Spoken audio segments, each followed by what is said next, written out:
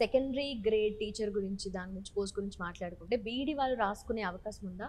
అంటే ఎలా ఉంటుంది? ఇది కూడా సోషల్ మీడియాలో రకరకాలుగా చెప్తున్నారు. బీఎడ్ వాళ్ళకు ఎస్జిటి రాసుకోవడానికి అవకాశం ఇస్తారు. గతంలో అవకాశం ఇచ్చారు. దీనికి ఒకటే ఒక కారణం ఉంది. దేశవ్యాప్తంగా ఇరవై లక్షల మంది ప్రైమరీ స్కూల్స్ టీచర్స్ కొరత ఉండడం వల్ల అప్పుడు national council for teacher education వారు బిఎడ్ వారు కూడా ప్రైమరీ స్కూల్ టీచర్ జాబ్కు అర్హులని పర్మిషన్ ఇచ్చిన మాట వాస్తవమే.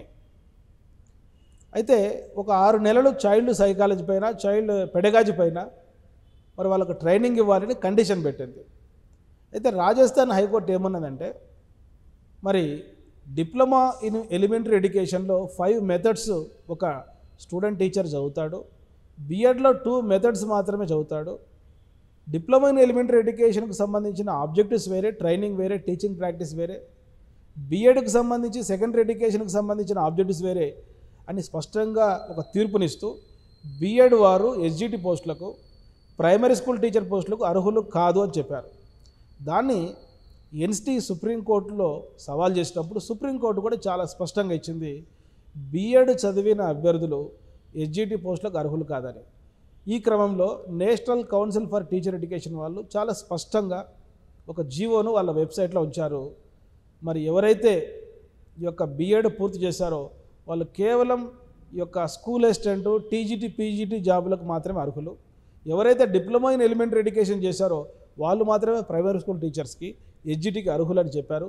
ఈవెన్ దో బీఎడ్ వాళ్ళు పేపర్ వన్ క్వాలిఫై అయినా కూడా దానికి ఇప్పుడు వ్యాలిడిటీ లేదు.